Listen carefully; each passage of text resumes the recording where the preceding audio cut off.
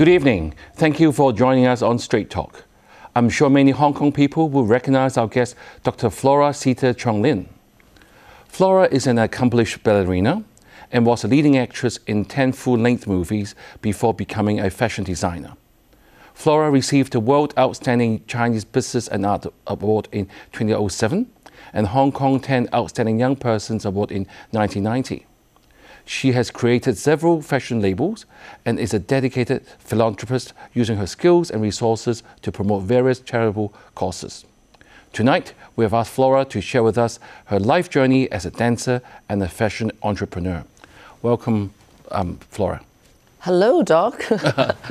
right. So it has been a long time that we have seen you in Hong Kong, and I'm sure many people in Hong Kong have missed you. And I understand part of the reason that you're back in Hong Kong this time is to hold a memorial service for your late father, uh, Mr. Hilton Cheong-Leen, who passed away in January last year at the age of 99. And uh, my deepest condolences to you and your family. Thank you um, your late father, Hilton, was the longest uninterrupted serving elected office holder of, in Hong Kong history um, of the Urban councils since 1957 to 1991, some 34 years. Knowing that you would be on the show, a lot of people have shared with me that he was a dear mentor to many, and his love for Hong Kong is missed sorely. So, Flora, can you tell us a bit more about your father, especially when he was a councillor? how he stood up firmly, especially when he was a minority at that time? I think um, because he's from South America, he's used to being a minority and he fights for everything he believes in. And he was very, at early age, he went to Harvard to study um, politics under Henry Kissinger. Right. So he built his strength from strength. And in Hong Kong, at the time, he was the first Chinese um, uh, elected um, probably government person and who can speak very good English. His Chinese wasn't very good, but he, I think he believed in saving, helping, and merging all the general people and to build education. Because he had very international education from South America. He went to Beijing first and learned Chinese Mandarin and came to Hong Kong. He felt, wow, this is a fantastic melting pot.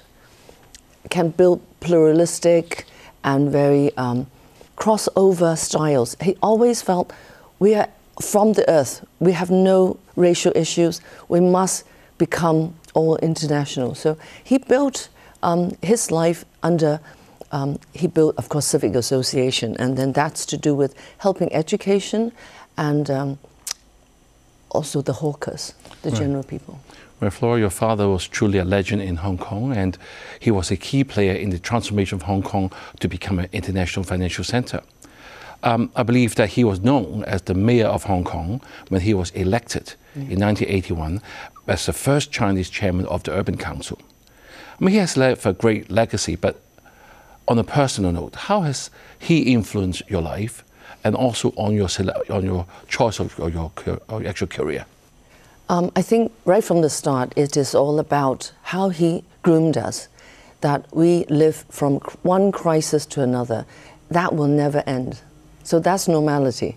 It's not I groom you to have a perfect life and become a ballerina. No, life is about building from scratch every day with calamities, with all sorts of uh, crises. So when he wrote in 1962 his, um, can say his first little pamphlet book, he said that there, we, Hong Kong people are going through one, from one crisis to another. And we just have to use individual strength and group together lots of other people's strengths from all walks of life to overcome. Things will pass. So he actually groomed me with this mantra. Mm-hmm. So I have used that in every career I've done. It's not easy in any career, as mm-hmm. a lady, as a woman at that time, or as a young girl right? You know, you have done many things. You were a ballerina, you had movies, and now fashion entrepreneur. And now you're doing your philanthropy. So what has what has he said to you over all these years? Because he's all been around, hasn't he? Yes, he actually um, believes change must be current. You must be progressive. You must be relevant.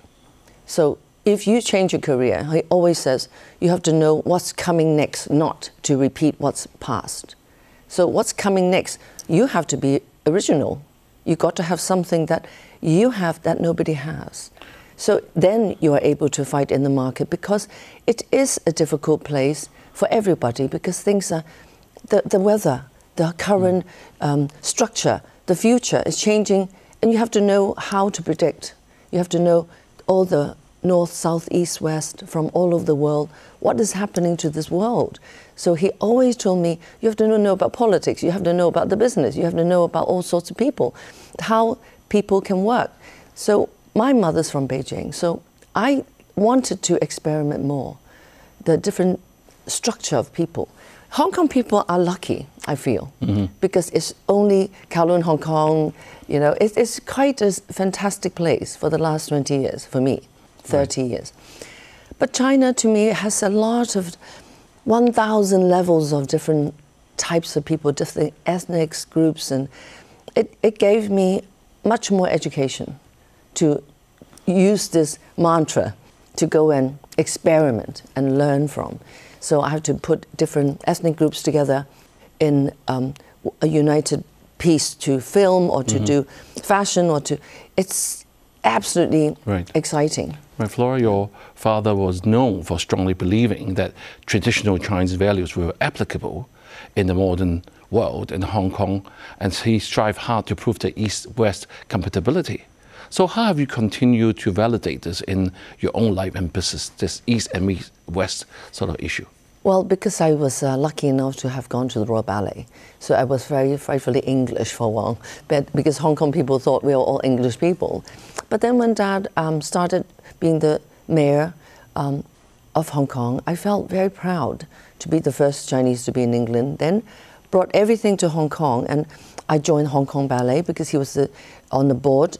He- was on um, Hong Kong Ballet Board as Urban Council, grooming arts and culture, and therefore I kind of feel I must continue this English. Then it was English to Hong Kong. Right. It was that crossover, but now Hong Kong became the bridge, so it's even more we, we can play with. It's extreme Western and extreme Chinese to China. So Right. I love to do things that's full of this crossover ideas. Right, you know, um, you just mentioned you were the first kind of person of Asian descent to study at the Royal Academy of Ballet. How old were you then? I mean, did you face any of this extra discrimination at that particular time? Okay, I must tell you the difference between the Royal Ballet and the Royal Academy. Right. The Royal Academy is an academic examination board.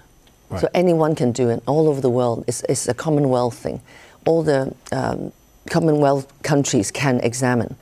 Um, Royal Ballet is the professional dance school. Right. So I went to the professional dance school. And that really groomed me to be, um, that was tough because I was the only Chinese. Did you face any uh, discrimination at that particular Of time? course, of course. How old were you then? Nine.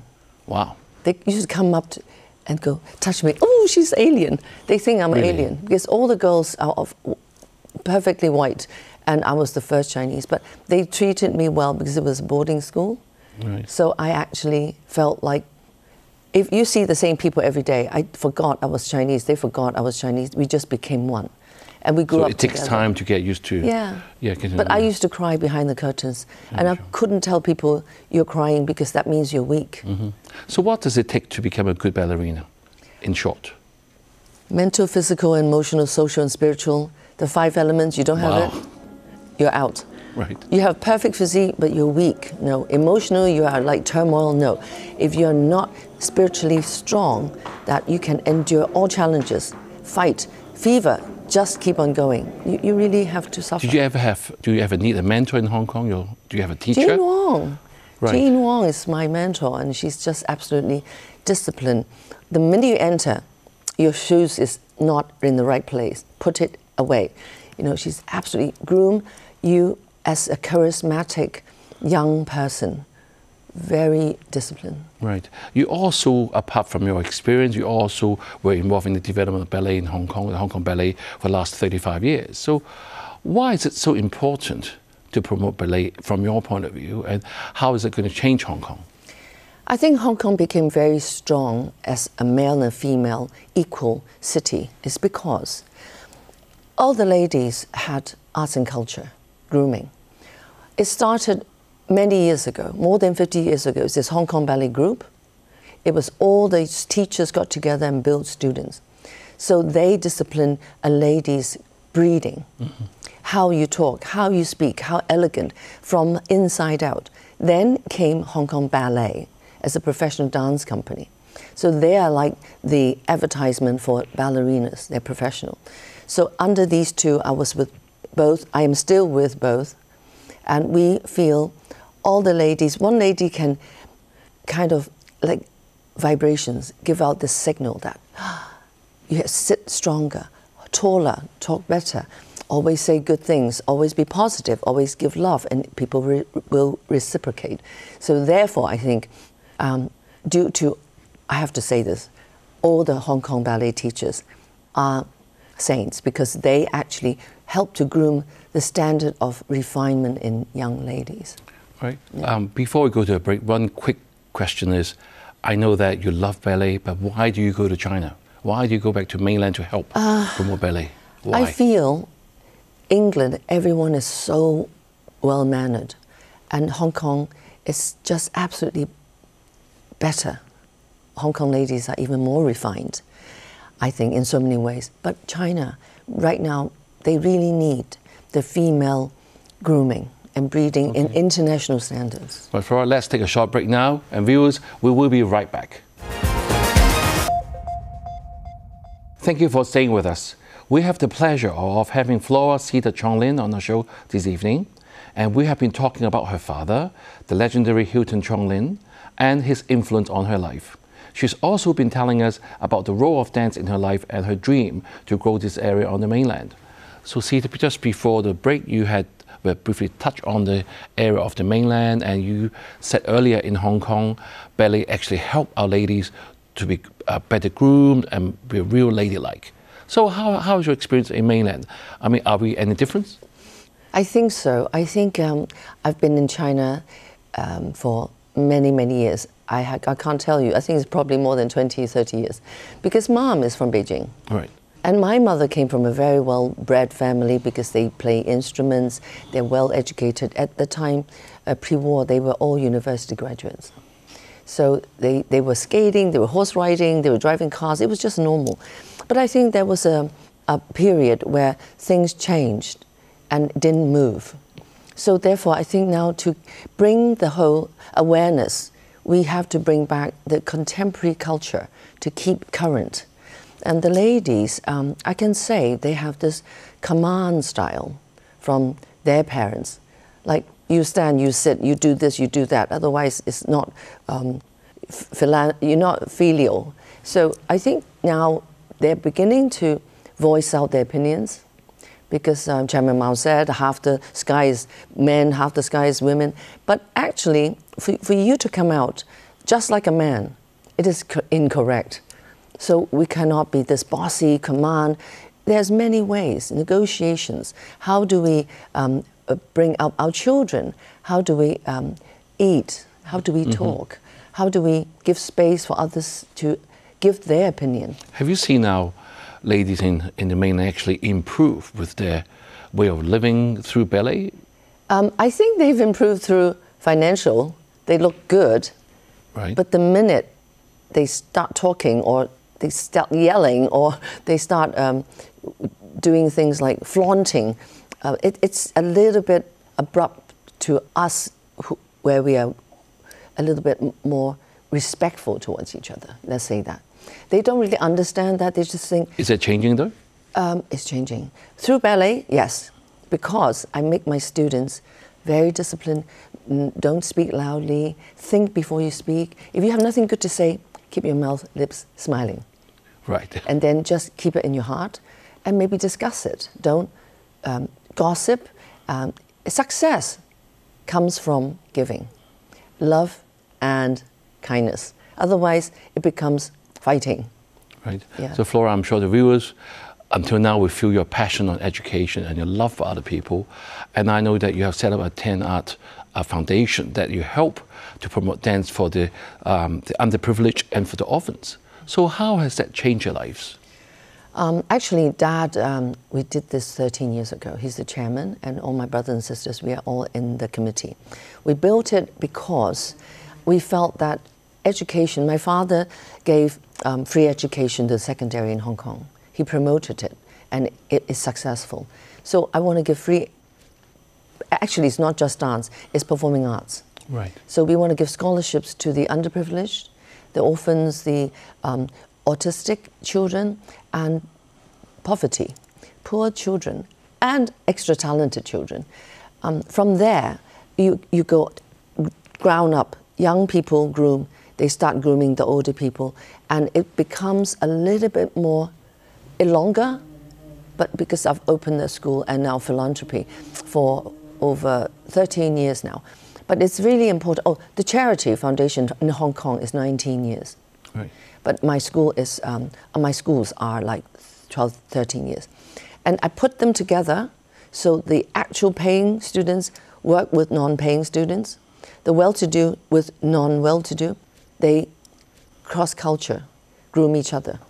And that will bring up from all levels, there's a thousand levels, not just rich and poor, it's just so many gray areas in China. Right. But I think it is working, this model is working because not only teacher can influence, students watch each other.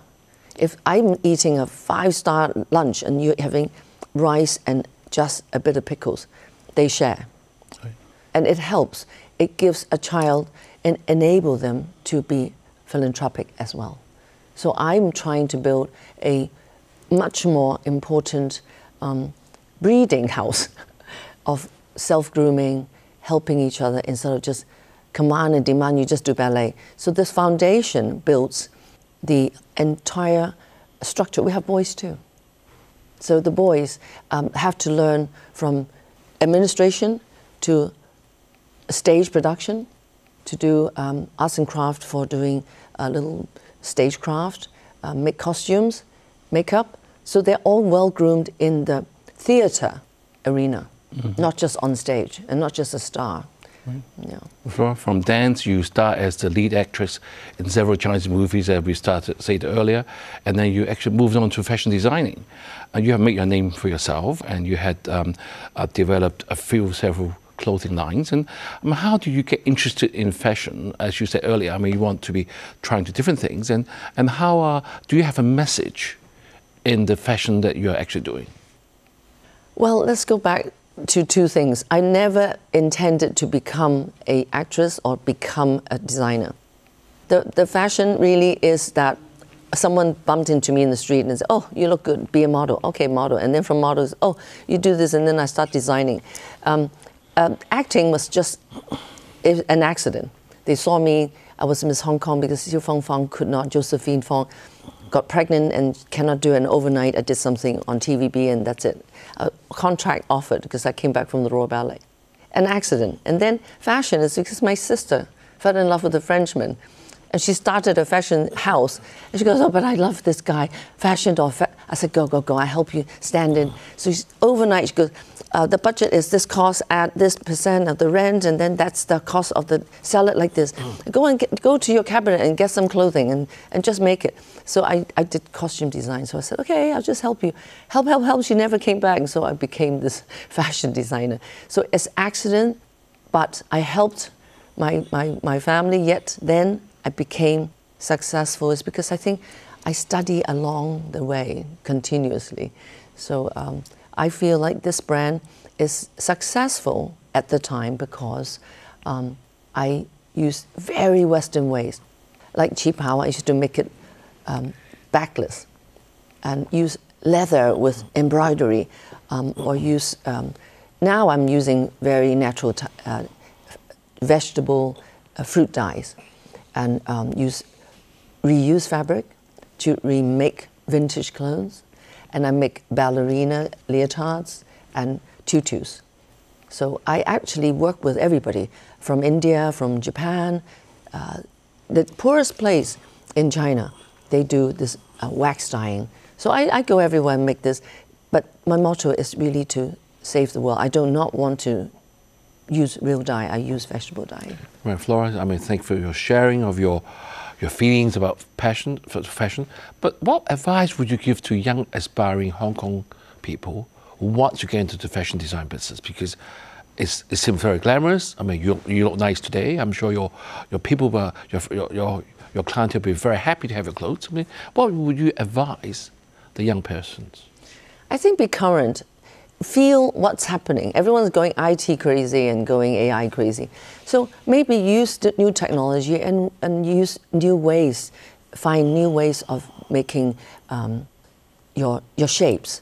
And you have to think of the future and not now. If you repeat another collection that is just going to open a boutique and sit there and wait for people, I think better not do it. Mm-hmm. I think better just uh, get into uh, marketing or doing um, merchandising, um, help big houses because they have the infrastructure. Like um, everything is nobody. Cars are running without people. The machines have no one there. Mm. And then the clothes, it's just like you can make it with machines. Mm. But yet, what what design patterns is it done by your hand? Design now is all electronically done. So maybe think of something original. Right. Yeah. Otherwise, it's just going to sit there as a waste. Right. You, we've been also talk apart from your dancing, your, your, your, fashion design, a bit of acting. We're talking about so arts and culture. Do you have great passion for? How do you, in your opinion, what role does arts and culture help to shape to shape the identity of Hong Kong? That I think we really need a, a strong identity. How can we use to leverage to promote social and political change in our lives? In your opinion, um, I think from a dance point of view, Hong Kong is a very progressive place. We have to keep that going. Like Hong Kong Ballet, we do not just want to be the Royal Ballet or just another company doing Swan Lakes and Giselles. We, our director is fantastic. He crossover film to um, like Vogue fashion to new stories. We just did Coco Chanel. We did um, a, a, Hong Kong style Romeo and Juliet mm-hmm. uh, about two families. I think it is about how we bring forward our accents and images. Right, Flora, so time Hong goes Kong, very sorry. fast. Sorry, uh, we want to ask you the last question. You've been in the mainland for like 20 to 30 years, and you know there'll be more and more integration needed between Hong Kong and the mainland. What tips will you give to Hong Kong people so that they can to so quickly and happily integrate into the life of mainland? I think it's not integrate. If you look at it that way, it's too slow. We must get involved. The whole buffet must include the bigger world and don't just talk about mainland. Mainland is very international now, honestly. Mm. Everyone is in there, so let's just go into the melting pot and groom ourselves as Earthling. Everything goes. Chinese and Western, same story, yin yang. And if it goes faster, right. it will turn brilliantly energized energy needs that. Well, Flora, I'm afraid that's all the time we have. I wish perfect. we have a longer interview. We appreciate your time with us, Flora, and I'm sure your passion for ballet and fashion design has inspired many in Hong Kong and on the mainland. Your father must be proud that his legacy and can do Hong Kong spirit lives on in you. Thank you, viewers, for tuning in, and we will see you next time.